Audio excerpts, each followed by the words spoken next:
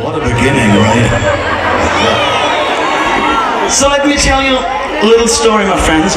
You know, I've been, you know, in the 90s, I did a, I did a concert in um, a show in Spain, in Barcelona. And, you know, after the show, the people came to me and they said, why did you do sing um, Just We Two, Mona Lisa?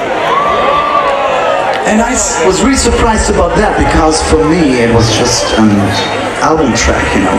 It was a song from the third album, Ready for Romance, and um, I didn't pay so much attention about that song. And mm, but what I didn't know, this song was released in Spain from the record company as a single, and um, it went to number one in Spain.